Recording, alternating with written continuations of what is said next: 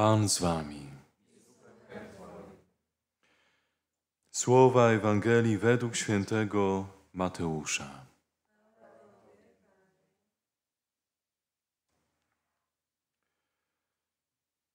Jezus powiedział do swoich uczniów: Proście, a będzie wam dane. Szukajcie, a znajdziecie. Kołaczcie, a otworzą wam. Albowiem każdy, kto prosi, otrzymuje. Kto szuka, znajduje, a kołaczącemu otworzą. Gdy któregoś z was syn prosi o chleb, czy jest taki, który poda mu kamień? Albo gdy prosi o rybę, czy poda mu węża? Jeśli więc wy, choć źli jesteście, umiecie dawać dobre dary swoim dzieciom, to o ileż bardziej Ojciec Wasz, który jest w niebie, da to, co dobre tym, którzy Go proszą. Wszystko więc, co chcielibyście, żeby Wam ludzie czynili, i Wy im czyńcie. Albowiem to jest istota prawa i proroków.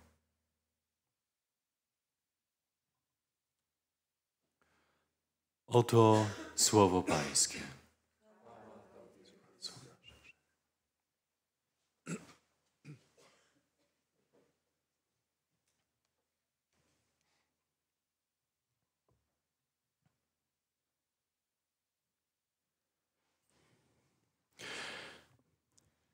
Przyjdź Duchu Święty od serca Boga Ojca przez serce Jezusa. Przyjdź, abyśmy pod wpływem dzisiejszych słów jeszcze bardziej ufali Tobie. Przyjdź przez serce Maryi. Przyjdź, abyśmy modlili się ufali jak Estera z dzisiejszego tekstu z księgi Estery. Shala Maria verioso lochem alachenon, Adonai malchelo halachenon, salachalachanon, Adonai, Adonai, Adonai malchetelo.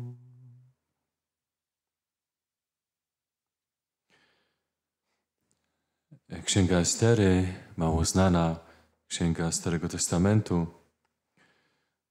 Autorką jest kobieta, Estera, królowa, Żydówka,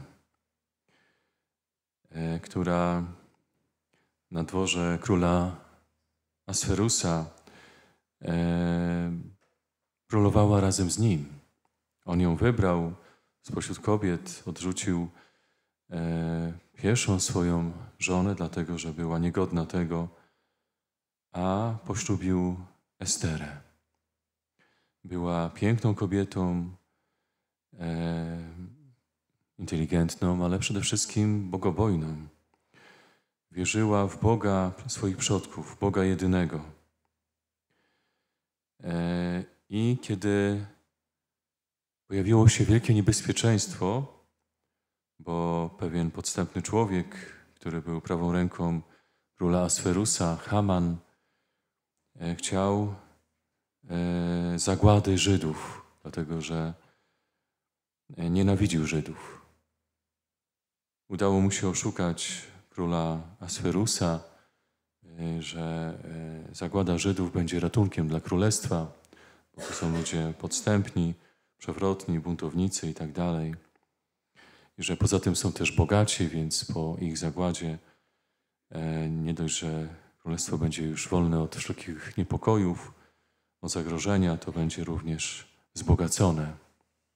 Oszust, który e, chciał też w przyszłości zająć miejsce Asferusa, prawdopodobnie też miał takie plany, żeby go zamordować, swojego króla. Dlatego zagroziło wielkie niebezpieczeństwo Żydom, bo zostali skazani na zagładę. Dlatego w tym czasie e, Estera głośno, gorąco wołała do Boga za swój naród. Oczywiście jej niebezpieczeństwo nie groziło, bo jest królową, więc kto by podniósł rękę, nawet jeżeli była Żydówką, na królową? Nikt. ale błagała e, za naród żydowski. Przejęta niebezpieczeństwem śmierci, królowa Estera zwróciła się do Pana i błagała Pana Boga Izraela. Do kogo w niebezpieczeństwie śmierci i w każdym niebezpieczeństwie można wołać i trzeba? Do Pana Boga Izraela, czyli nowego Kościoła, czyli nowego Izraela, czyli Kościoła. Pan Bóg jest miłosierny, potężny, wszechmogący, wszystko może uczynić. Może niebezpieczeństwo śmierci zamienić poczucie bezpieczeństwa, pokoju. Może uwolnić od zagrożenia, od zagłady, jeżeli będzie tylko chciał, bo wszystko może. Dlatego woła, Panie mój królu nasz, Ty jesteś jedynym Bogiem. Ty jesteś królem. Królujesz nad wszystkim, nad tym królestwem, e, w którym ja jestem królową. Wspomóż mnie samotną, nie mającą poza Tobą wspomożyciela. Mówi o tutaj o swoim cierpieniu, bo ona cierpi razem ze swoim narodem. Nie chce go opuścić w chwili, e, e, kiedy grozi mu zagłada. Jest ze swoim narodem. Nie odwraca się. Nie jest egoistką. Nie myśli tylko o sobie. Czuje się samotna, opuszczona. Ale Ty jesteś moim wspomożycielem, woła. Jedynym Bogiem. Kto nam pomoże i mnie, jeżeli nie Ty?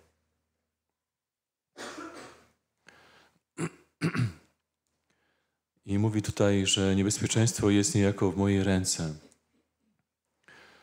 E, to rodzaj takiego przysłowia, że jej też grozi niebezpieczeństwo, że ona nic nie może e, zrobić jako królowa, nie może tego e, zmienić, tej decyzji, tego dekretu królewskiego, który mówił o tym, żeby właśnie naród żydowski zgładzić.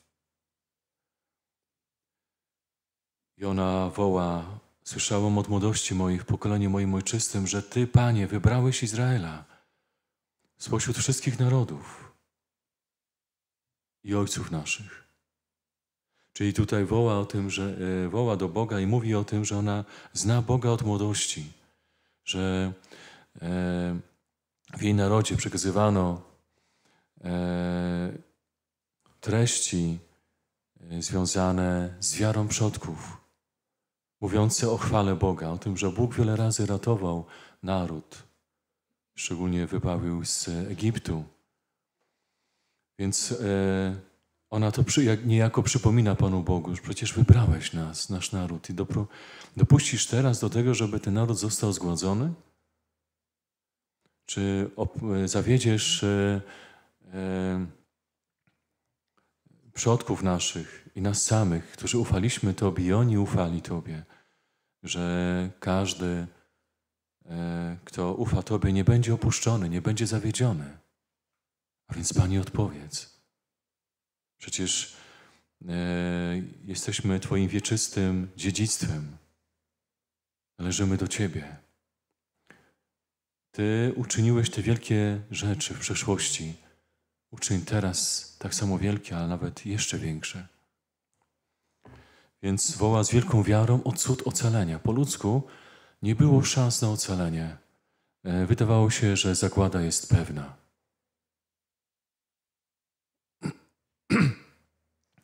I woła dalej, wspomnij Panie, daj się rozpoznać chwili naszego udręczenia i dodaj mi odwagi, Królu Bogów i Władco nad wszystkimi władcami. Ona w swoim udręczeniu, cierpieniu, bólu prosi o łaskę też odwagi, spokoju, opanowania, zawierzenia. Bo przecież nie ma większego króla niż Bóg. Nie ma większego władcy niż właśnie On. On tak naprawdę może zmienić decyzję tego władcy ziemskiego, Asferusa, który został oszukany przez tego przewrotnego Hamana. Bóg jest Panem i nikt nie może zmienić Jego decyzji. On może zmienić każdą decyzję, ale nikt nie może zmienić Jego decyzji. Dlatego to e, e, w słowach e, mówi do Boga: Przecież Ty możesz to uczynić dla nas. Uratuj nas, ocal, pomóż. i zachęca niejako jakby siebie samą do tego, żeby ufała Bogu. E, przypomina sobie sama też to, co Bóg uczynił dla niej w przeszłości. Przecież to, że jest królową, to jest to dar też Bożego miłosierdzia. To Bóg ją wywyższył w tym pogańskim narodzie. To Bóg ją ustanowił tą królową, aby właśnie w tym czasie wołała, aby modliła się, aby się wstawiała do Boga i także do tego ziemskiego króla Sferusa. I prosi tutaj o łaskę wymowności, włóż stosowną mowę w moje usta przed obliczem lwa, czyli króla. Zwróci jego serce ku nienawiści do wroga naszego, czyli Hamana, aby zginął on sam, czyli właśnie Haman, i ci, którzy są z nim jednej myśli, którzy e, są przewrotni tak samo jak on, że uzurpują sobie prawo do królestwa, do tego, żeby mieć władzę nad całym imperium. Że to są źli ludzie, przewrotni, zakłamani, zepsuci. E, I żeby Asferus ocalił Izraela i naród żydowski, ale żeby ukarał surowo właśnie tych, którzy chcieli zniszczyć naród. Wybaw nas ręką Twoją i wspomóż mi opuszczoną i nie mającą nikogo poza Tobą. Powtarza się w modlitwie. Panie, który wiesz wszystko, Ty wiesz, co jest w moim sercu. Znasz moje intencje. One są szczere i czyste. Odpowiedz, Panie. Wysłuchaj.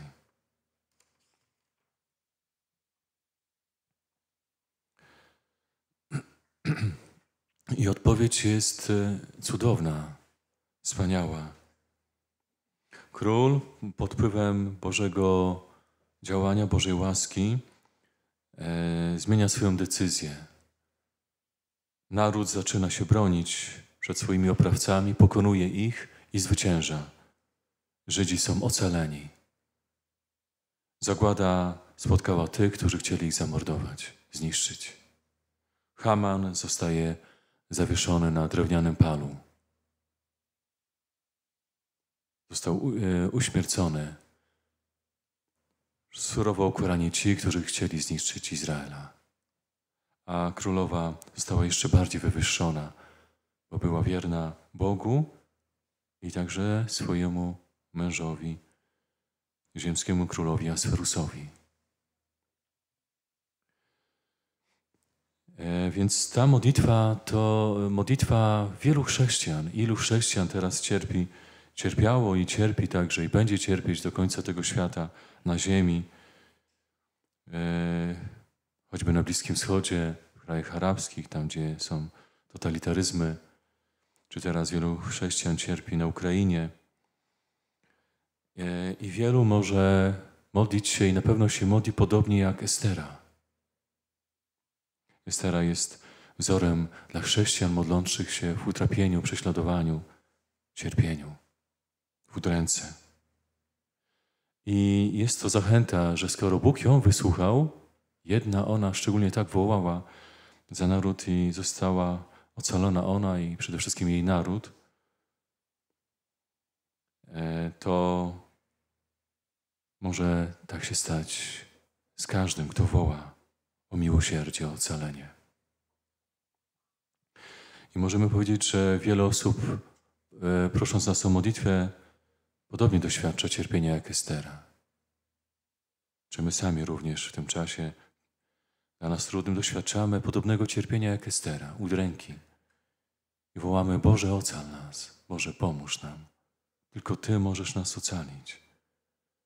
Wołajmy jak Estera a przyjdzie ocalenie z góry, z nieba.